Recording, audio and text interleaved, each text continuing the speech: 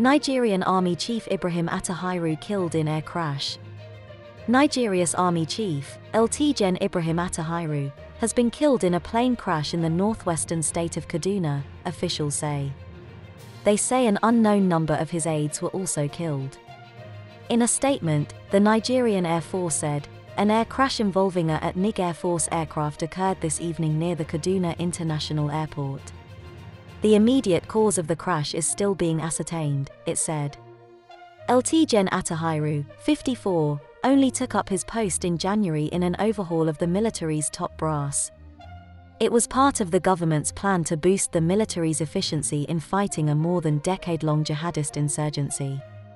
Friday's crash comes three months to the day after a Nigerian military plane crashed short of a runway in the capital Abuja, killing all seven people on board.